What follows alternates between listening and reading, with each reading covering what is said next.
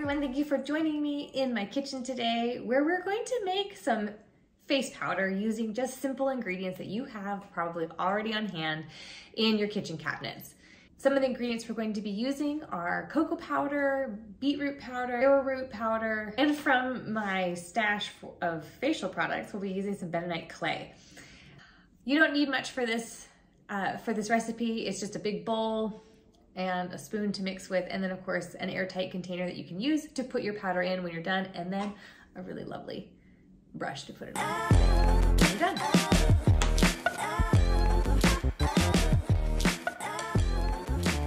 What you're gonna start with is a face of arrowroot powder, and I have here, it's just a fourth of a cup. And I'm gonna put it into my bowl. I know you can't see it, but that's okay. So it's just the arrowroot that I'm putting in first. It's a, again, fourth of a cup, put that in. And then you're gonna wanna mix in your cocoa powder. So everyone's gonna need a different level of cocoa powder depending on your complexion. I, of course, am very pale, so I don't need a ton, but I do need some. And this is about two tablespoons, which is what I would say to start with. And then if you feel like you need more depth to the tone, you can add more by the teaspoon amount. So I'm gonna pour that in. Oh yeah, oh, it already smells really good. Put that in. There we go. That's what it looks like right now. We're just gonna mix this up. And I'm gonna make a mess. Stirring until the arrowroot and the chocolate combine. You'll know when they're combined because you won't be able to see any more streaks of white from the arrowroot. Right. Balancing everywhere. I'm not usually this messy. okay, there we go. Ooh. It's really got a great feel to it. It's already gonna be one that if you put it on your face, it, it would already stay. Okay, now here's the fun part in the winter, I don't tend to put the clay in, but I'm gonna put the clay in anyways because I'm going to be preparing this for spring. So I'm gonna put the clay in and I have here one teaspoon of clay and I don't think that that's gonna change for anyone.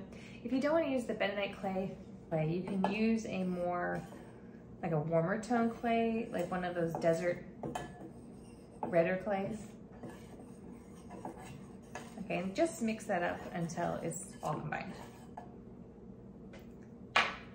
The last ingredient I'm going to add is my beetroot powder. So beetroot is a fun one to add, especially if you have red tones like I do um, in your skin complexion. You wanna add it kind of a little bit at a time. So you don't wanna just pour a whole bunch in there because then it's gonna look really red and you're gonna look, well, red. so I would say it's only, I'm just pinching this here, but on here I have one teaspoon. I'm just gonna kind of pinch from that one teaspoon. And we're just gonna add that in. But I would say it's usually up to one teaspoon you want in there. That looks good. I'm gonna add just a little bit more. So I'm gonna show you.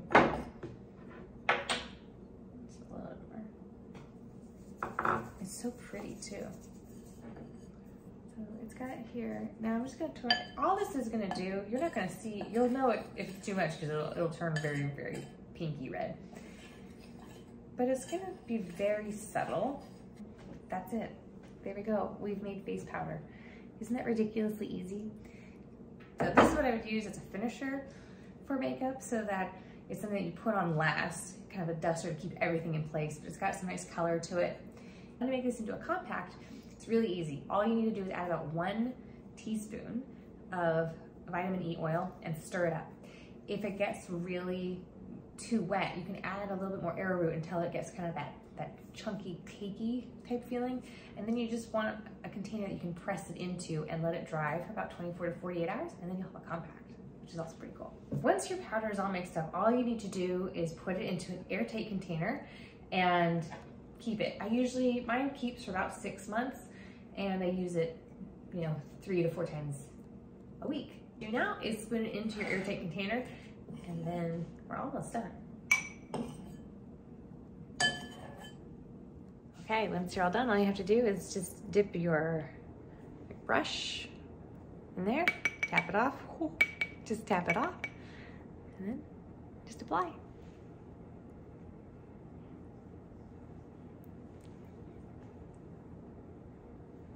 You make all natural and from scratch DIY face powder using just kitchen ingredients you have on hand.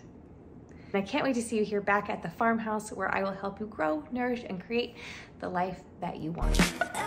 Next time.